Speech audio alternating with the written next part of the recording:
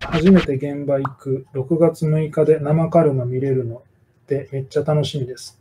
あ、僕の顔は山賊薬味ぶっかけてください。はい。山賊薬味はそんなね、もったいない使い方はできませんけど、会えるのは楽しみですね。山賊薬味、ボンズが売ってる薬味なんですけど、本当にその友達だからどうこうとかじゃなくて、本当にうまい薬味だから、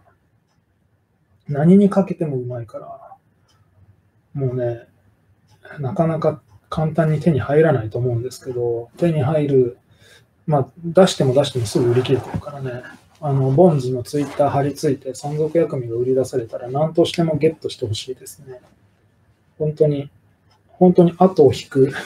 中毒になるうまさなんで、あれは。僕は某デリバリー U で配達員をしているのですが、デリバリー U ってなんだろう？あ、ウーバーイーツか。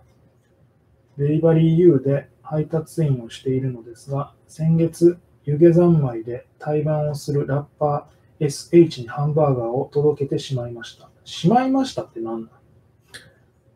かなりファンなので、ファンですと言いたかったのですが、こらえてやめました。そしたら悔しくなりました。呂布さんも自宅玄関前で配達員がファンですとか言ってきたら怖いですか？怖いんじゃないかな。